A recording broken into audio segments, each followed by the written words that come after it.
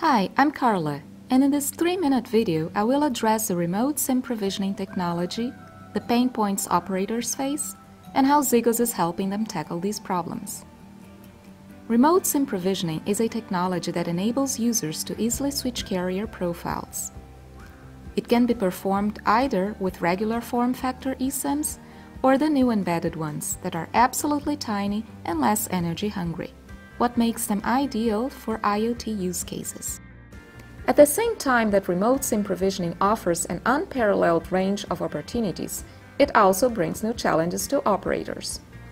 It basically lowers market entry barriers for digital players and also increases the fragility of the consumer relationship as customers become empowered to easily switch operators. Therefore, to compete in this market, service availability and performance quality are key prerequisites. This is why we at SIGOS have developed a remote SIM provisioning solution to test, monitor, troubleshoot, and benchmark eSIM service quality, availability, and performance. Our tools are designed to detect problems before a business impact. We test correct loading, that means the enabling of a profile on the eSIM, correct behavior of the RSP platform from the subscriber perspective, and service availability and performance after provisioning.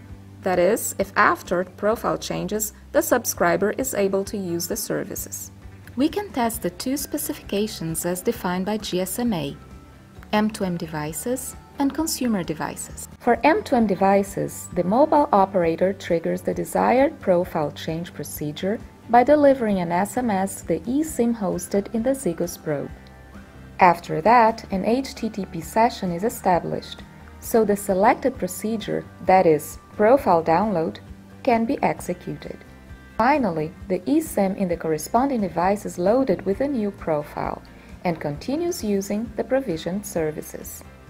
With a SIGOS solution, we can test, troubleshoot, and monitor the whole chain of the remote SIM provisioning procedure for the M2M devices. For consumer devices and the customer experience perspective, the profile change procedure is triggered from the device itself. Basically, the SIGOS solution allows to monitor the subscriber behavior directly on the eSIM-enabled smartphone, and in parallel, it measures the performance, that is, the response, of the remote SIM provisioning platform. After selecting the option to change network connectivity provider on the application menu of the smartphone, the network will send a subscription link or a verification code.